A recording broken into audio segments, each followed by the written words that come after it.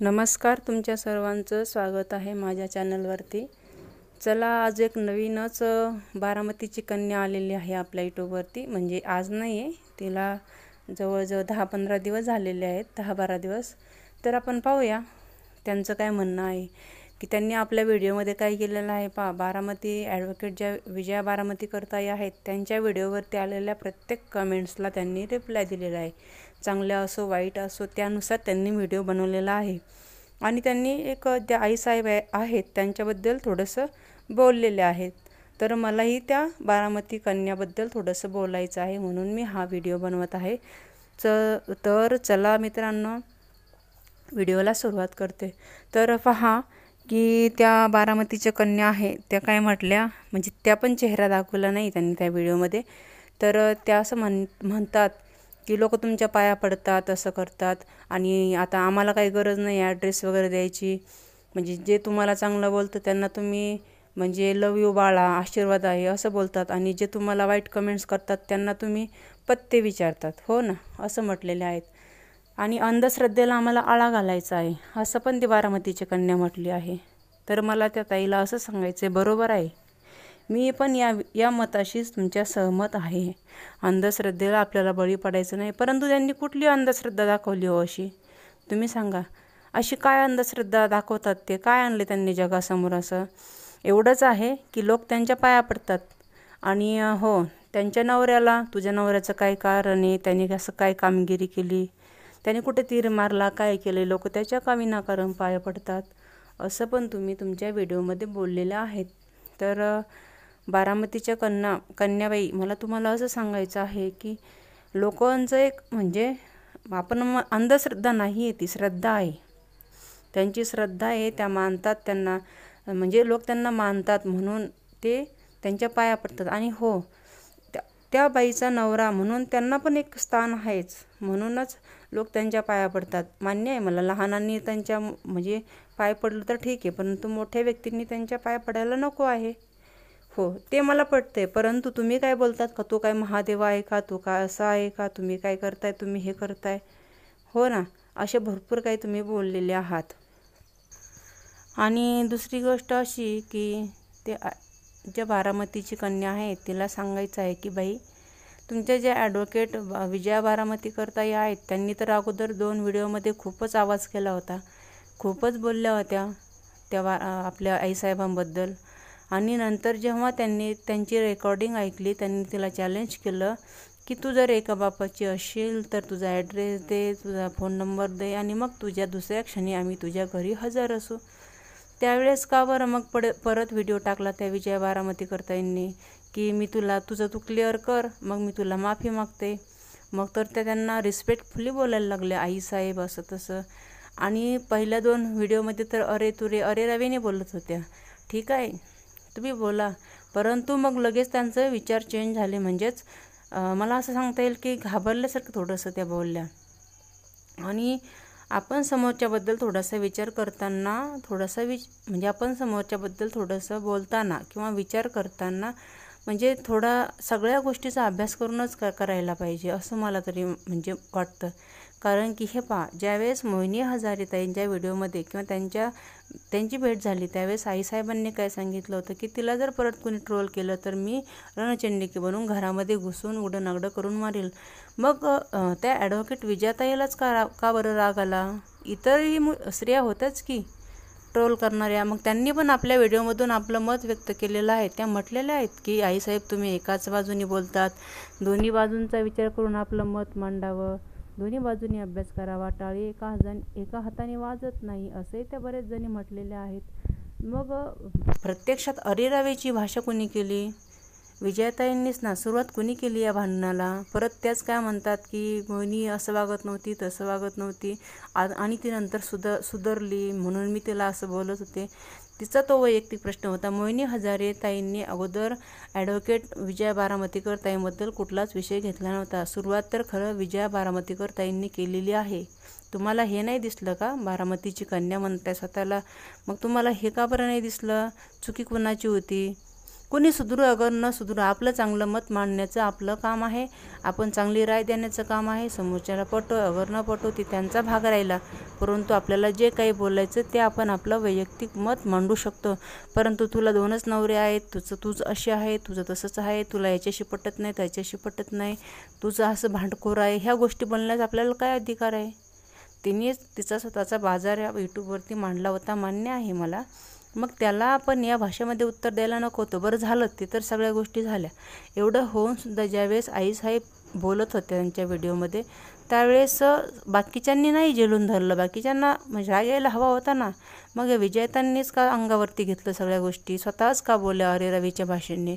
आणि त्यानंतर बोलल्या तर बोलल्या ज्यावेळेस आईसाहेबांनी चॅलेंज केलं की एका बापाची असेल तर मला ॲड्रेस वगैरे दे मी तिथं हजर होते.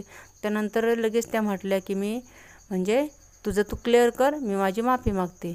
आणि हे झाल्यानंतर ज्यावेळेस परत नंतर त्यांनी व्हिडिओ बनवले विजयाताईंनी त्यामध्ये तर त्यांनी काय सांगितलं की मी पत्ता वगैरे काहीच देत नाही.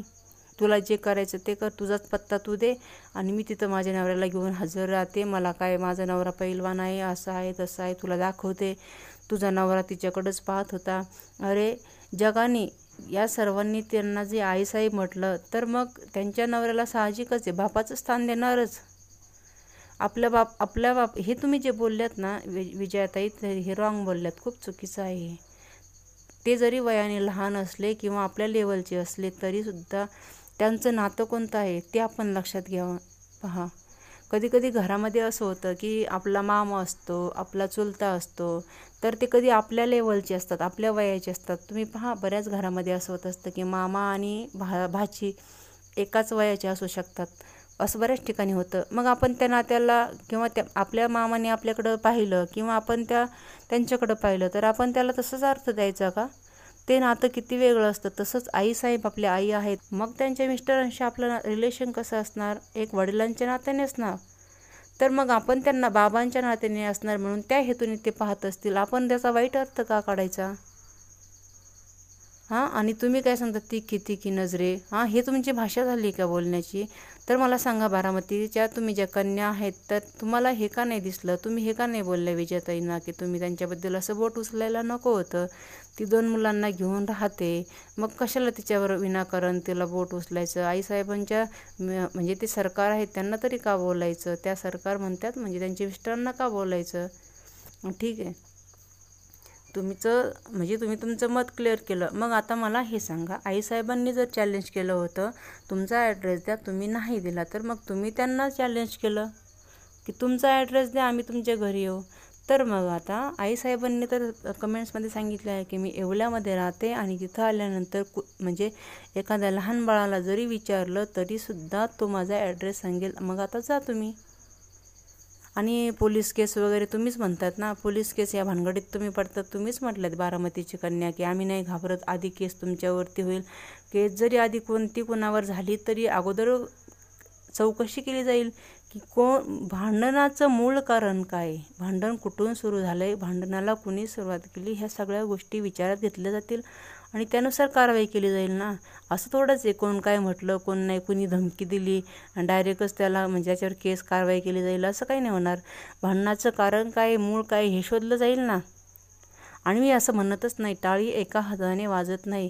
हो आईसाहेब बोलल्या त्या त्या पण मी म्हणजे बोलल्या त्याच्याबद्दल बी मी म्हणजे मला समजते की त्या जे बोलल्या उडं नागडं करून ते पण त्यांचं चुकलं. त्या त्याबद्दल पण मी त्यांना सांगते. परंतु त्यांनी एक आईच्या नात्याने बोलल्या हे मी सांगते. परंतु बाकीच्यांनी स्त्रियांना का नाही राग आला ज्यांनी ट्रोल केलं त्यांना असं वाटलं की असं आपण कुठंतरी धमकी दिली तर हे प्रकरण थांबेल. तिला जो त्रास होते तो होणार नाही.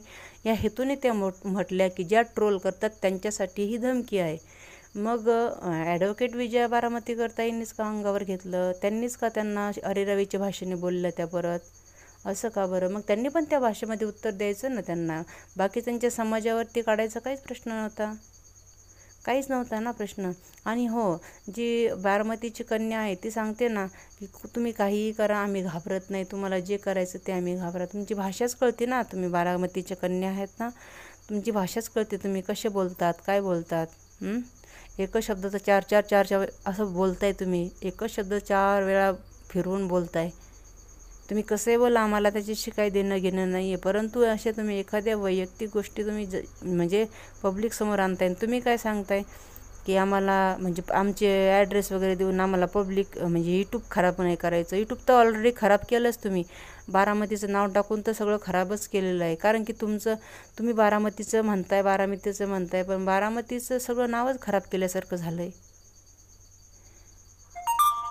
थोडंसं समजूतदाराने समजूतदारपणाने वागा. एकमेकांना समजून घ्या. भांडण मिटल असेल काहीतरी बोला. की नाही उठायचं काही पण बनवायचं उठायचं काही पण बोलायचं. फक्त आपले सबस्क्रायबर आणि व्ह्यूज वाढण्यासाठी काही पण बोलायचं. याला काहीच अर्थ नाही आहे बारामतीची कन्या तुम्ही आत्ता चॅनल सुरू केलं आहे. मी पण नवीनच आहे. परंतु थोडंसं दोन्ही बाजूने ॲक्शन देत जा. बारामतीची कन्या आहे आणि त्या बारामती करता तिथलेच आहेत म्हणून तुम्ही त्यांच्या साईडने बोलू नका. त्यांचं जे रॉंग आहे ते पण तुम्ही मांडा ना. आईसाहेबांचं चुकलं ते पण मांडा. बारामती करताईंचं जे चुकलं ते पण मांडा ना. तुम्ही पण स्त्री आहात. दोन्ही बाजू क्लिअर करा ना. एकाच बाजूंची घेऊन तुम्ही त्या कमेंट्स वाचताय मग त्या कमेंट्सवर रिप्लाय देताय चांगल्या वाईट दोन्ही पण मांडताय. याला काय अर्थ आहे? तुम्ही त्या कमेंट्स वाचण्यापेक्षा कमेंट्सला कोण किती रिस्पॉन्स देतं आहे हे तुम्ही पाहताय. ते नका पाहू. त्या ॲडव्होकेट विजया बारामतीकर ताईंचं काय मत आहे? त्यांनी काय मांडलं? त्यावर ॲक्शन रिॲक्शन द्या. आईसाहेबांच्या म्हणजे त्यांनी जो रिप्लाय दिला त्याच्यावर ते ॲक्शन रिॲक्शन घ्या. तुम्हाला जे वाटतं ते तुमचं मत व्यक्त करा. पण तुम्ही एका साईडने घेऊन नका ना जाऊ. दोन्हींच्या चुका काढा. दोन्हींच्या जे बरोबर गोष्टी तुम्ही टाका. टाळी एका हाताने वाजत नाही हे मी अगोदरच सांगितलेलं आहे. त्यामुळं अशा गोष्टीमध्ये तुम्ही जास्त म्हणजे लक्ष देऊ नका की ज्या गोष्टीमुळं ज्या म्हणजे ह्या यूट्यूबवरती अजूनच जास्त वाद वाढत जातील. घरातील जे पर्सनल गोष्टी आहेत त्या काढून एकमेकांबद्दल जास्त वाद होतील असं काहीतरी करू नका. हे मिटवण्याचा कुठंतरी प्रयत्न करा. धन्यवाद.